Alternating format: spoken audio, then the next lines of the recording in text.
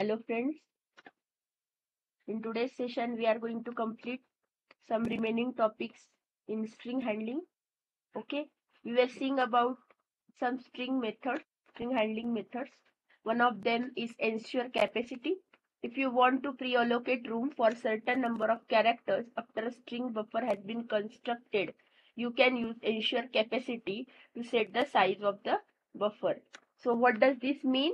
You are you are going to pre-allocate room. Okay, so you are ensuring that the total number of capacity of this string buffer is going to this much okay? It's going to be this much. So ensure capacity will set the size of the buffer pre-allocating okay?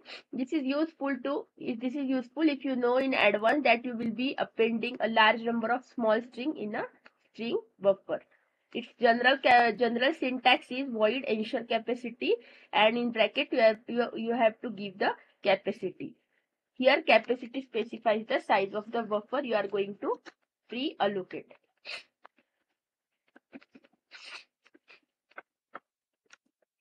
Then set length.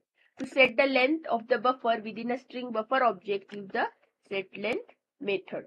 Okay so length of the buffer will be predetermined by the set length.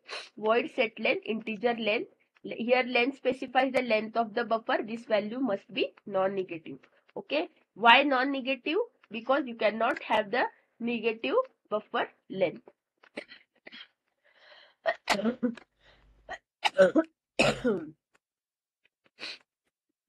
when you increase the size of the buffer, null characters are added at the end of the existing buffer. If you call set length with the value less than the current value returned by the length, then the character stored beyond the new length will be lost. Okay. So what will your length, final length will be greater than the current value of the length. Okay. For example, you are if you are storing the name like uh, I am I live in India. Okay. So um, maybe it is having I space A M space I N D I A. Okay, there are have there are there are 10 number of characters in this. Okay, so final length of this string buffer will be 10 and you are setting the length as 7. So fine uh, last seven, 5 characters India will be lost and your total final uh, string will be I leave in. So this is not expected.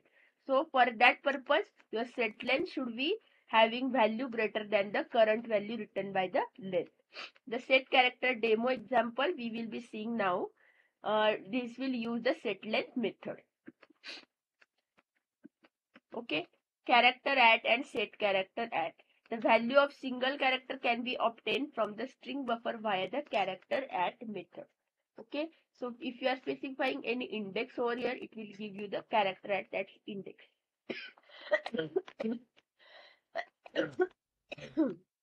you can set the value of character within a string buffer using set character at. the general forms are character character at void set character at integer where character ch. For character at where specifies the index of the character being obtained okay? So character at will give you the character at index and set character at will uh, store the character at specified index. For set character at where specifies the index of the character being set and specifies the new value of that character. For both those both of these methods where must be non-negative as usual and must not specify location beyond the end of the buffer. Okay? The following example we will be seeing now string buffer sb is equal to new string buffer hello buffer before sb okay so this will give you hello. Then character at 1 before 0 1 so it will give you e. And now uh, at 1 i am replacing e. So it will be h i double n o. And now its length is 2 0 1 2 so it will be h i l. Okay then character 1 after it will give you i. Hello character add before e before after high. Uh, buffer after high character at 1 after i. Okay. Now next method is get characters. To copy a substring of the string buffer into array, use the get characters method. It has the general form void get characters. So the substring that is multiple characters more of more than one characters from string buffer if you want to obtain them you will use the getchar method. Void getchar integer source start integer source end character target integer target start. The source start specifies the index of the beginning of the substring and the source end specifies index that is one past the end of the desired substring okay? Why one past? Because last is one additional okay this means that the substring contains the character from source start through source end minus 1 okay? So like you are specifying uh, index from 0 1 2 3 and 4 if there are five characters. The array that will receive the characters is specified by target. So this is your target. This will receive the uh, total number of characters and target start at which uh, from which place you have to uh, place the characters the index within the target at which substring will be copied it will be passed in target start. Care must be taken to assure that target array is large enough to hold the previous number of characters plus new number of characters okay to hold the number of characters in the specified substring. Append. The append method concatenates the string representation of any other type of data to the end of the invoking string buffer object. String buffer append, string buffer append. Here, here we are passing string. Here we are specifying number and here we are specifying object. Okay. It will concatenate the string representation of any other type of data at the end of the invoking string buffer object. If you are specifying string, string will be appended if you are specifying number, number will be appended. If you are specifying object, object representation will be appended. String value of is called for each parameter to obtain a string representation. For every everything, number will be converted to string using string dot value of. Object will be converted to string using string dot value of. The result is appended to the current string buffer object. The buffer itself is written by each version of append. Okay. Uh, for each version, the total uh, total string, total appended string will be written. This allows subsequent calls to be chained together. Now we will see string buffers sb is equal to new string buffer 40. Okay.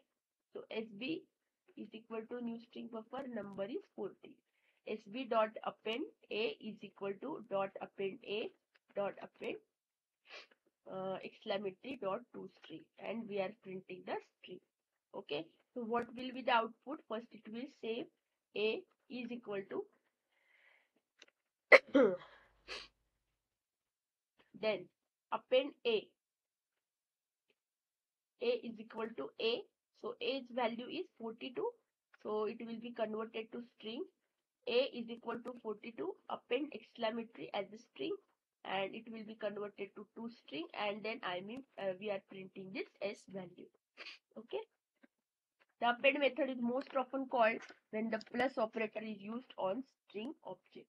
Java automatically changes modifications to string instance into similar operations on a string buffer instance. Okay, what does this mean? It will automatically change modification to a string instance into similar operation on string buffer instance. The same operations on string buffer instance are there likewise in string class instance, string object. Concatenation invokes append on a string buffer object. After the concatenation has been performed, the compiler insert a call to toString to return the modifiable string buffer back into a constant string. Okay. So after all these things are done, the compiler will insert a call to toString. So string buffer will be converted to toString to return the modifiable string buffer back into a constant string. Okay, that new string will not be uh, changed. Okay, this is this is immutable string. Final concatenated string is immutable or in unchangeable.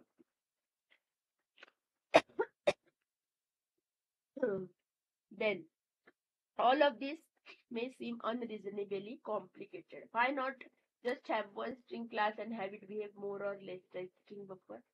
Why we cannot have one string class and no matter what we are going to perform, we have to just remember what are the methods for string and all these methods will work on string itself and whatever modifications we are going to do on that one string object itself. Why we are using that string buffer? The answer is performance. There are many optimizations that the Java runtime can make knowing that string objects are immutable. Okay, so these values cannot be changed. Java hides most of the complexity of conversion between string and string buffer thankfully. Okay, so string objects are immutable but still when you are converting like in the previous example complete concatenated uh, string buffer value to two string and saving into string constant. This conversion is automatically hidden.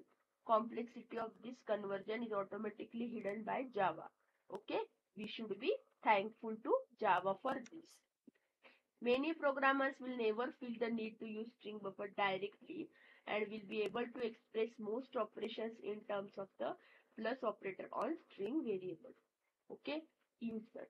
The insert method insert one string into another. It's, it is overloaded to accept values of all simple types plus strings, object and character sequences. Okay, so one insert method, one insert the one string into another string and it is overloaded to accept all uh, values, simple types, simple data types, string, object and character sequences. Like append, it calls string dot value of to obtain the string representation of the value it is called with so that string value will be automatically called in this case also. This string is then inserted to the invoking string buffer object. String buffer insert integer index string, integer index character, integer index object. Okay. So string string is already in string so it will not be converted uh, then character ch will be converted to its string representation. Object obj will be converted to its string representation. Index specifies the index at which point the string will be inserted to the invoking string buffer object. Okay? So now we will see inserting like between i and java. Sb is equal to new string buffer i java. So insert 2 at position 2 i am printing giving light and space. Okay? So i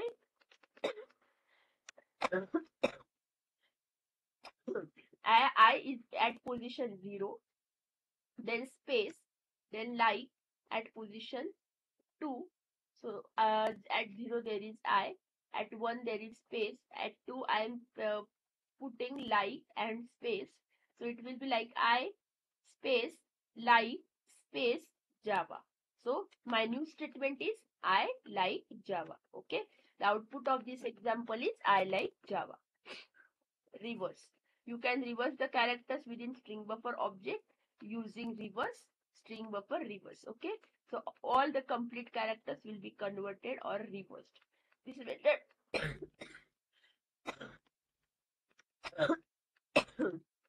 this method returns the reversed object on which it was called. The following program will demonstrate the reverse. Okay, new string buffer ABCDEF. Uh, we are printing this ABCDEF S dot reverse and then again we are printing. So output is ABCDEF and reverse string is FEDCVA. Okay, so it is very simple to use. It will return the string buffer object and how to use it string buffer object dot reverse. Okay delete and delete character add. You can delete characters within string buffer by using methods delete and delete character add. String buffer delete integer start index integer end index. Okay. So from start index to end index the uh, characters will be deleted and delete character at which location we have to delete.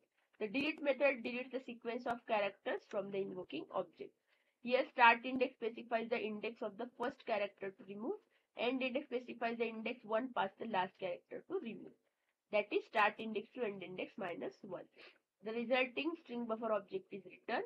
delete character at will specify uh, location and at that location this character will be deleted.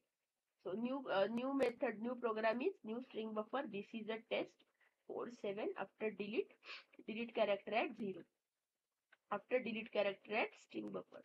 This is a test. Okay. So I, if I am deleting character at 0, t will be deleted because here from here my characters are started 0, 1, 2, 3, 4, 5, 6, 7, 8, 9, 10 and 11. So my zeroth character is t and it is deleted. My final string is the is a test. Okay. Replace. You can replace one set of characters with another set inside a string buffer object by using replace. A string buffer replace start index, end index, string, string. Okay. So what it will do? It will replace one set of characters with another set inside a string buffer object. Substring being replaced is specified by the indexes start index and uh, end index. The substring at start index through end index minus 1 is replaced. The replacement string is in string. Resulting string buffer object is returned and we will see this example. This is a test. Okay. So from start index 5 from start index 5 to 7 0 1 2 3 4 5 okay? 5 6 7 there is i s and space. I have to replace what this what a test okay?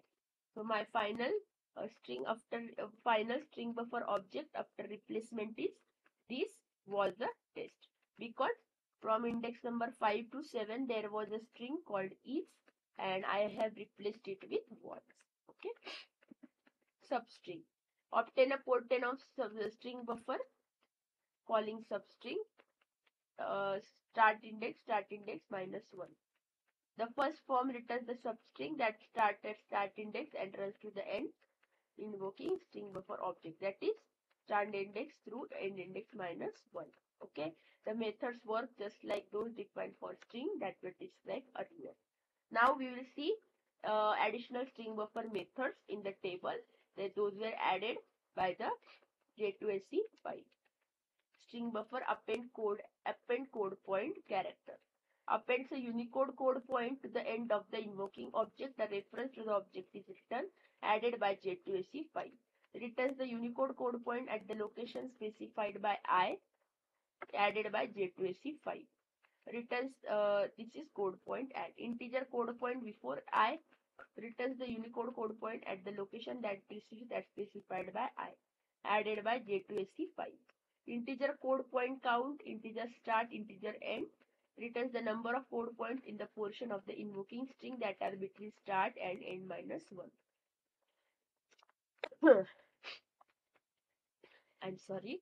Index of string searches the invoking string buffer.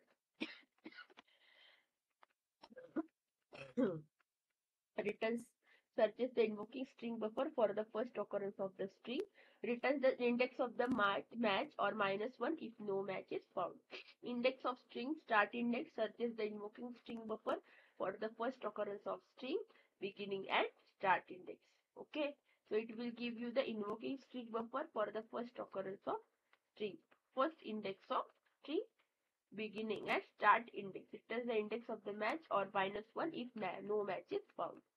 Okay.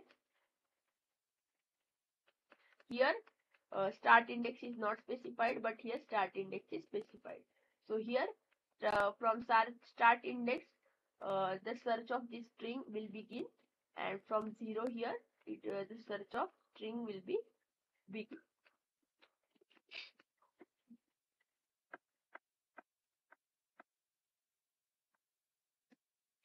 The last index of searches the invoking string buffer for the last occurrence of string from 0 returns the index for the match or minus 1 if no match is found. Searches the invoking in last index of string integer start index. Searches the invoking string buffer for the last occurrence of string beginning at start index. Does the index of the match or minus 1 if no match is found.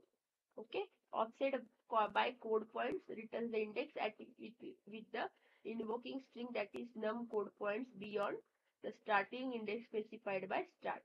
Added by Java to SE5. Character sequence, subsequence, start index, drop index. Returns a substring of the invoking string beginning at start index, stopping at stop index. This method is required by character sequence interface, which is now implemented by string buffer.